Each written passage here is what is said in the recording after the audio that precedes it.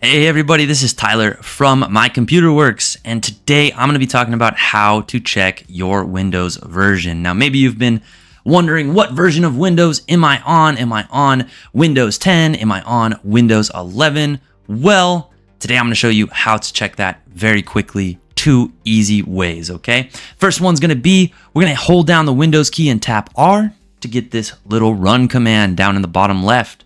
Inside the box, we're going to type in W-I-N-V-E-R. That's short for Windows version, okay? Then we're going to click OK.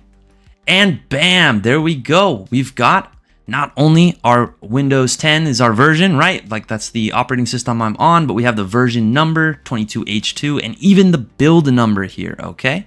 Now let's see another fast way to check that, okay? So we could right click down here on our Windows symbol, I want everybody to see that, the, the Microsoft symbol, the four boxes, right? So we'll right click on our start menu.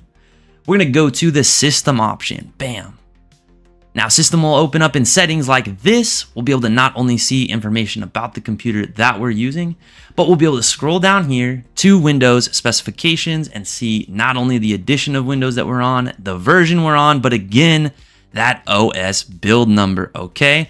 Now you know how to check your Windows version two different ways. You can impress your friends at those parties. Thanks for watching, everybody. Hit that like and subscribe down below if you enjoyed the video and follow us for more so you can see us on the next one.